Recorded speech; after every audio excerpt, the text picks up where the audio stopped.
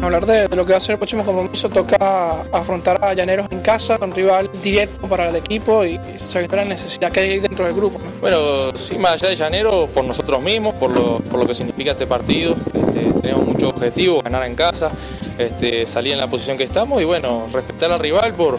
por los buenos jugadores que tiene, el cuerpo técnico que tiene, pero nosotros tenemos, tenemos potencial y, creo que ya es hora de, lograr los tres puntos. ¿Cómo crees que se puede lograr justamente esos tres puntos, sabiendo que se ha hecho equipo en casa y que además el enero viene también con, ansias de sumar? Con actitud, creo que la, actitud, porque el juego lo tenemos, este, las ganas están y bueno, poner la actitud, la misma concentración que se hizo en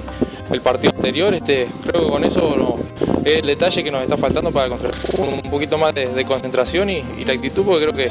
que van a llegar los goles y defensivamente el otro día se trabajó bien, así que esperemos lograr los tres puntos. ¿Y en la semana cómo viste los trabajos y también el grupo de cara a ese compromiso? Bien, se trabajó bien este, corrigiendo errores y, bueno, sobre todo la efecto del rival. Este, verdaderamente bien, cambiamos de aire, hemos entrenado en la Aurorita, que eso hace bien para que el grupo se, se distraiga un poco más y, bueno, y se, se, compromete más en,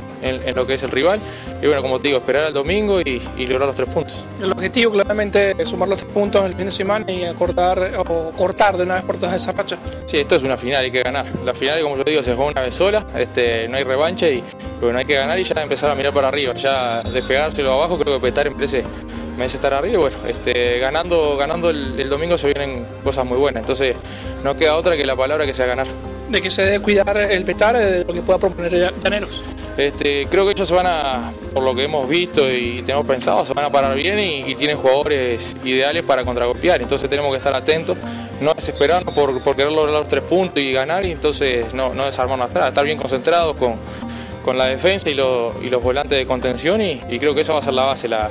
la, buena postura que tengamos defensivamente, porque, porque arriba tenemos jugadores rápidos, entonces creo que es eso. No, no desesperarnos, el gol va a llegar, este, pero primordial de que no nos convierta. ¿Cuál será la propuesta de Petare? Eh, cuando lo hacemos local, pero de repente hacer un poquito más de énfasis en la concentración y, la actitud, como te decía. Eh, nosotros de local presionamos, eh, mantenemos casi todo el partido la, presión de mitad de cancha hacia arriba y, bueno, lo que tenemos que controlar, como te digo, son, son esos contragolpes que a veces nos hacen daño o, estar un poquito más atento en cualquier jugada porque hemos perdido puntos de local por,